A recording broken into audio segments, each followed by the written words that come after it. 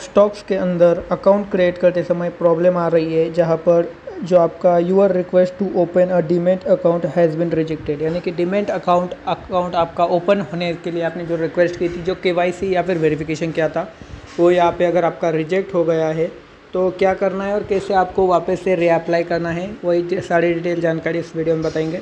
तो वीडियो को आप पूरा ज़रूर देखिएगा।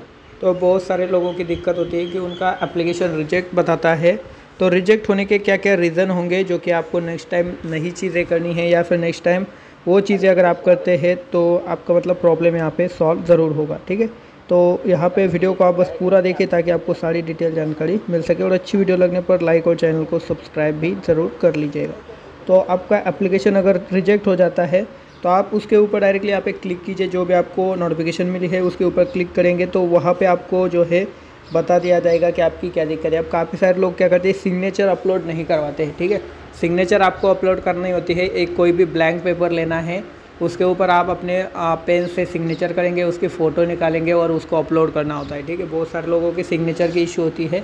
तो एक तो आपको सिग्नेचर भी अपलोड करनी होगी। नॉर्मली हम जैसे सिग्नेचर लेते हैं तो वो आपको करनी है और फो, आ, अपने फ़ोन से उसका फ़ोटो निकाल कर डाल देना है ठीक है? इसके अलावा कभी कभी क्या होता है कि हम जो भी फ़ोटोज़ निकालते हैं, वो स्कैन नहीं होते या फिर सही तरीके से हम ब्लर पिक्चर अपलोड कर देते हैं।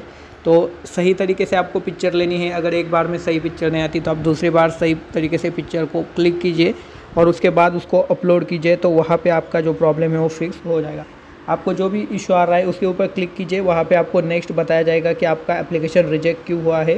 यूर एप्लीकेशन इज़ रिजेक्टेड लिखाएगा और नीचे आपको आपका जो भी प्रॉब्लम है, उसको फिक्स करने के लिए बताया जाएगा, ठीक है? तो उसके ऊपर आप क्लिक करके पता कर सकते हैं आपकी क्या दिक्कत है।